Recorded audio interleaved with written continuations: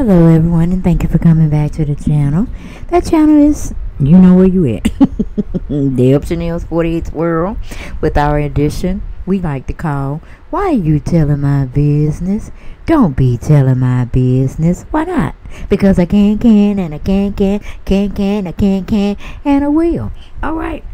Eh, this is unbelievable and it is scandalous and marvelous honey my vis- my visuals are a little blurry but i just had to get it out there because andy cohen made a complete jackass out of himself. All right for the ending of 2021 going into 2022 okay i don't know if he has some residue unhappy negative feelings he was just trying to get out before the new year came in. But homie went out with a blast because the first person he was trying to blast was Ryan Seacrest, calling him the biggest loser. Yes, he did. Yes, he did, y'all. I'm sitting here, laying in my bed, of course, trying to find some stories to talk about to entertain you all and myself because y'all know I've been under the weather. Now, you know, Anderson Cooper don't take his friend Andy Cohen serious at all because if he did he would probably be a cnn correspondent as we speak and off this ratchet tv show thing he's trying to give us okay? We all know kathy griffin. She was good. She was hosting uh new, new year's eve ball with anderson cooper and doing other things over there at cnn until she made that mistake of beheading our President Trump, okay, when he was president, okay, but we're gonna move on from there. And she got a lot of backlash from there, and Andy didn't too much care for after that as well. But of course, you know, as good journalists, you know, they're going to think about themselves and they're going to go get what the people want, which is somewhat the truth, which we know is fake news when it comes to any of our news stations on our television screens, okay? Even Trump tried to tell us that at the time we didn't believe him, but I was listening, girl. I was listening. That's that programming news they give us to look at. But it just is what it is. Believe what you want. Okay, but anyway, yes. I guess Cooper couldn't get nobody to sub in for him once again. You know, he probably tried his boyfriend at the time. Now his husband, his, his husband I ain't got no time for that shit. I, I, ain't got no time. You go do what you gotta do. You come on back home, and we can celebrate. And he got a nice looking husband. Woo! Why would he have to be gay? Oh my goodness, my gracious. Oh my lord. Kind of remind me of Pat Riley. Y'all know. Uh, I forgot what team he coached. Uh, shit. When did the Knicks?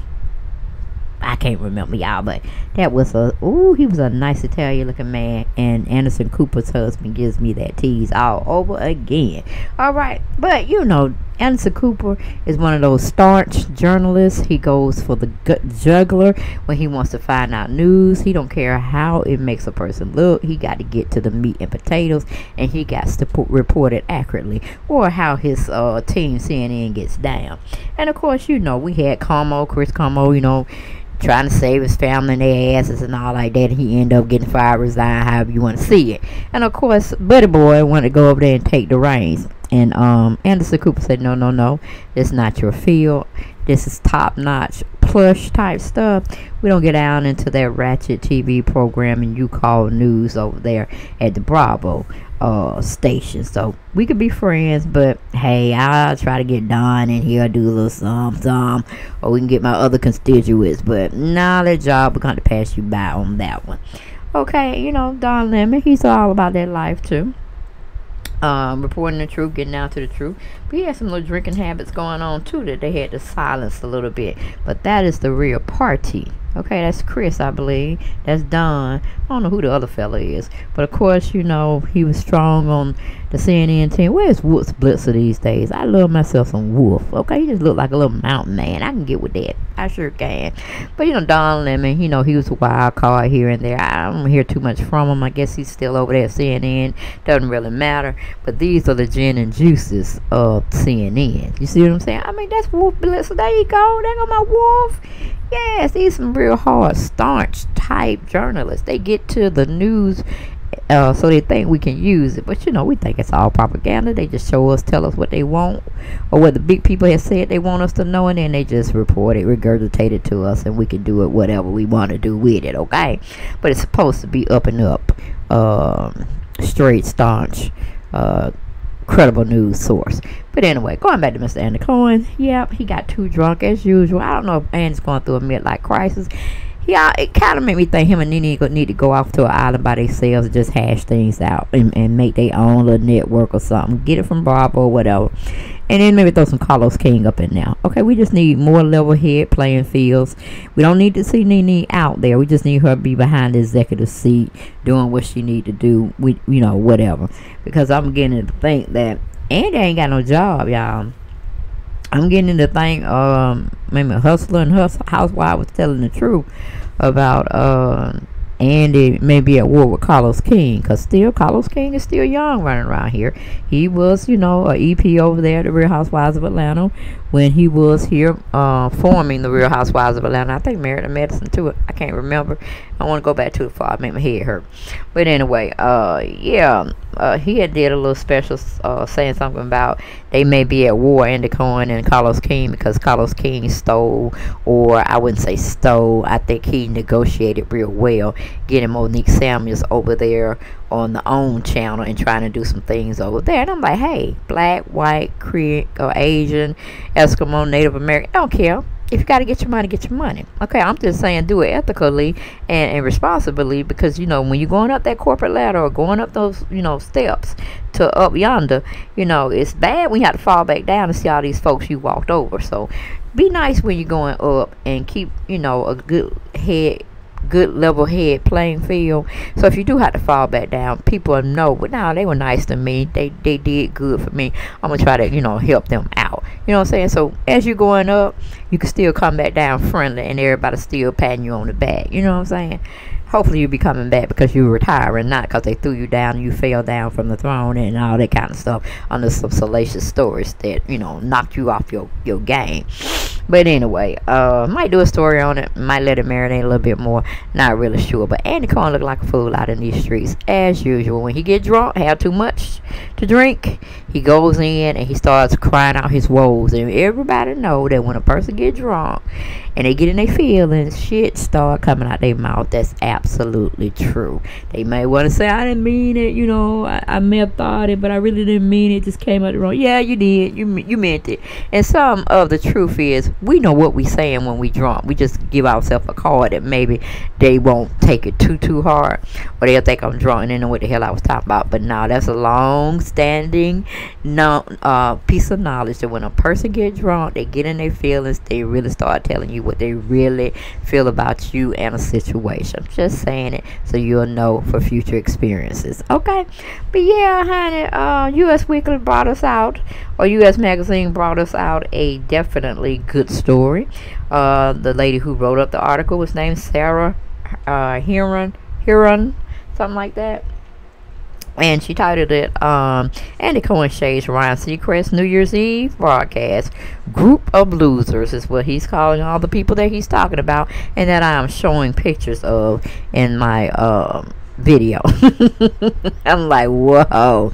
Now, my thoughts is if Anderson Cooper was such a good friend, he would die like four flat tires for Andy Cohen. He wouldn't let Andy Cohen did all that shit. He wouldn't let him talk about the former mayor, mayor of New York, Blasio, you know, saying he glad he doing his uh, victory dance so he can get the hell out of here because he ain't do nothing but bad all four years he was up there. Then he talking about Ryan Seacrest, you know, his has been shows and the, the guests he's sponsoring, they has been people, all of them just losers. I'm like, did this have become the uh, rocking the eve of um, the downfall or the midlife crisis of Andy Cohen? like, what the hell is going on? So glad I was in my bed entertaining myself with other things and not trying to look at anything on television unless it was a movie, you know, some some kind of sitcom, but nothing with all of this symbolism and uh, propaganda and a narrative they're trying to get us to see on these these shows you know where they do a lot of rituals uh, type of uh, entertainment where it can definitely do more damage to you than you think depending on how you looking at it. Okay i'm just saying those who caught it caught it. Those who didn't keep researching okay? But anyway uh, going into the article it says not leaving the shade in 2021 andy cohen was unfiltered as always while hosting CNN New Year's Eve live with Anderson Cooper on Friday, December 31st, throwing shade at Dick Clark's New York New Year's Rockin' Eve. Now you know Dick Clark going on this world, and he was a legacy, and he did give the entertainment when he was here. Now, Andy Cohen throwing salt on him and his name and what he tried to formulate as entertainment for us for the New Year's coming up and the, the, the New Year ball dropping and all that. That was sensational back in the 80s, 90s, and the early 2000s. It kind of left its let wait. It kind of left its luster for me as I kept getting older. Because either I'm going to be praying or I'm to be sitting my ass down somewhere so I don't get shot. Because these folks in my neighborhood and the surrounding neighborhood, they love them damn firecrackers. They look like they need to be out there for showstoppers. You know, when you at a big event or they shooting out their real pistols. And I got time to get laid out. You know what I'm saying? No no foolishness. And I know they're gonna start that shit again tonight. Oh, I just hate it. New Year's Eve and Fourth of July, I hate it, hate it, hate it. And Memorial Day too. They like they ain't got nothing else better to do. But anyway, that was just my sidebar. Going back to the article. It went on to say, if you look behind me, you'll see Ryan Seacrest's group of losers performing the 53 year old Real Housewives of Atlanta producer said, I'm sorry, but if you're watching ABC, you're watching nothing. Oh, that's what he said, y'all. That was in quotation marks, uh, meaning he quoted that. That was his true statement. I'm like, what the hell going on with Andy Cohen? Why he picking up all these artists? That's trying to come out here and make a dollar so they can stay in the lack of luxury or lack thereof a luxury that they're used to. You know what I'm saying? Maybe it could just be food, shelter, and clothing that they're needing, and they're using their artistic abilities to do so. And he's trying to fraternize on that. Now, I hope he don't try to have a shot to Ja Rule that, uh, what's his name? Uh, Arnel Padilla uh, I hope he try to have them show up at his doorstep to save his little crash and burning show or watch what's happening live. Okay, I hope he don't need them in the near future. And damn sure one need Journey. You remember Journey? I've been waiting for a girl like you to come into my life. I've been waiting cause I used to get them and Foreigner uh kind of mixed up. You know, so a foolish heart heed my warning that's fun. You stop calling foolish heart. Y'all remember that song? And hell, I might got Journey and Foreigner mixed up. I don't know. They were some smashing groups at the time. I liked some of their music. Don't get me wrong, okay? Ah, but anyway, I told you I ain't a racist person over here. I get on anybody. I don't care what creed, color, or uh, nationality you are. If you're living foul and I find that it's foul and you're trying to display something else, I will call you out. Okay, just like y'all do me. All right, but that's another here nor there. Going back to the um the article. It said ABC's broadcast included performances by Journey and Ashanti and Ja Rule in Times Square. Okay, during another segment, Cohen made it clear he wasn't impressed by Arnel uh, Paida uh, leading the rock band. I'm guessing he was uh, leading Journey into a few of their songs or something. I, I have no idea because, like I said, I didn't watch it. Okay, maybe y'all can Google it and tell me what was going on. But it goes on to say we were doused with confetti from Fake Journey on ABC. If it's not Steve Perry, it doesn't count. You get it? It's not Journey. He declared. It's propaganda. It's propaganda. It's not Journey. It's not Journey. No, that was not Journey. Steve Perry is Journey. So I'm guessing maybe they had Journey, but Steve Perry couldn't come out and do his thing. So um, Arnel had filled in for him or something, and uh, Ryan Seacrest just wasn't hearing it. I guess you could not have Elvis uh up there. Well not when I use L but let's just say and Oates you couldn't have Hall up there without Oates you know what I'm saying? If you put somebody else in there like Fantasia trying to do something he of course said that was impressive but we still need Hall and Oates you know what I'm saying? I don't know he was just stuck on stupid last night evidently and they could not get the the uh vinyl record off that that that thing he kept saying, not journey, not journey, not journey. I was like, what the hell going on with Andy Cohen? He must be going through a midlife crisis. I am one to believe that's what he's going through. Because just to be attacking folks when they're out there trying to perform for the millions or how many people that were at Times Square at the time or not at Times Square, but they were just, you know, what do you call it, um, tuning in from their TV sets at home How dare Andy Cohen get on there and make a rant rave because he's in a drunken stupor? I mean, come on. Wasn't he supposed to be sick anyway? Wasn't he supposed to be on quarantine? Did he catch, recatch COVID? I'm like, what the hell is going on with him? He's out there having hot titus and trying to cure his uh, ailments and get on folks at the same damn time. What's wrong with Andy? Oh, somebody get in the comments and tell me what's wrong with that man. Uh, but then it goes on to say Andy Cohen and Anderson Cooper BFF moments. Social media users were quick to weigh in on Cohen's antics. Uh, Andy Cohen calling Ryan Seacrest a loser might be the funniest thing I've seen on television this year. One person tweeted. Another fan wrote, Andy Cohen calling Ryan Seacrest live and wasted on national TV. A loser already won 2022 CNN New York Eve, okay? Andy Cohen last night talking trash about ABC's Ryan Seacrest and Fake Journey is about the most punk rock thing at CNN has ever done. New York Eve 2022, a third person tweeted. A fourth viewer added, CNN made the decision a long time ago that drunk Anderson Cooper and Andy Cohen and Don Lemon was far more entertaining to people than Ryan Seacrest and company. Okay, whoa. Before he signed off for the night, Cohen made waves again for calling out New York City Mayor Bill de Blasio. Watching Mayor de Blasio do his victory lap dance after four years of the crappiest term as the mayor of New York, the only thing that Democrats and Republicans can agree on is what a horrible mayor he has been, he yelled, as Cooper tried to cut his rant off. So, Saranara, sucker. 2020. It's a new year because guess what? I have a feeling I'm going to be standing right here next year, and you know who I am not going to be looking at dancing as the city comes apart. You. And I was like, now wait a minute. Flag on play, flag on play. If again, in fact, Anderson Cooper cared anything about Andy Cohen, he would have not let him make that statement. If anything, he would have said, cut his mic, or he probably would have took the mic from him and told, sit your ass down, okay? Because we got to live in this city, all right? We got we gotta do what it make it do. New York ain't going out like that, and you even tear down New York, especially on the uh, going out of 2021. Sit your ass down somewhere. We want to do a commercial or something. All right or he would have did something better. Hell, he could have just started talking about the artists that performed. They were so lovely, they so wonderful, and Journey got off. You know what I'm saying? With the help of Arnell, he could have made a little spin like that. But now he just went on wanted that salacious story, wanted to make a fool out of Andy Cohen. If Andy Cohen really think that Anderson Cooper really like him, whoo, let me sell you some property in Atlanta, okay? Way, way out on the outskirts of Atlanta, okay?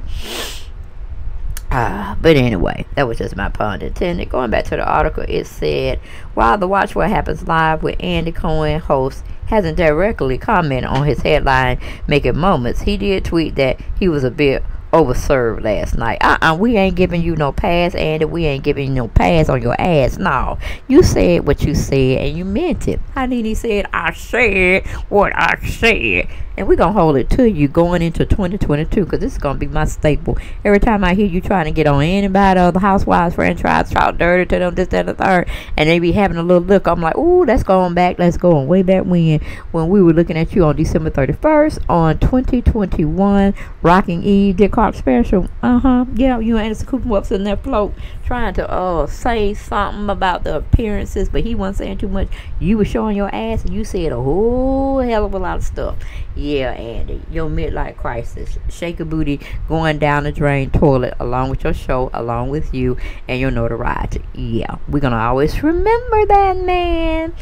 Whoo, and you talking about Nene Leakes. You need to go away and don't come back. I'm telling you, a midlife crisis. They taking your show. You're looking bad out in these streets. You thinking that Salt Lake City is gonna uh, hold you up, and then that Dubai show that's supposed to be coming in, coming in, man. And we know those that know what goes on in Dubai and these rich famous people like Beyonce, Jay Z, uh, the presidents, all of them have to go over there to serve their time, do their deal deal, and then come back and think, you know, everything's cool and fancy. We know what y'all be doing over there. Those who have eyes to see and ears to hear, we gets down. We know what the real tea is over there and what you're doing. Okay, but that just is what it is for those who know, speculate, even investigate. All right, but that's all I got, y'all. I had to just go on and just show out on Andy's behind. He was just pure trash last night. He might have been wasted, but like I said, a drunk fool tells no tales. All right, they don't. They tell the truth. All right, so y'all be blessed. I'll see y'all next video. Talk to you soon. Pieces.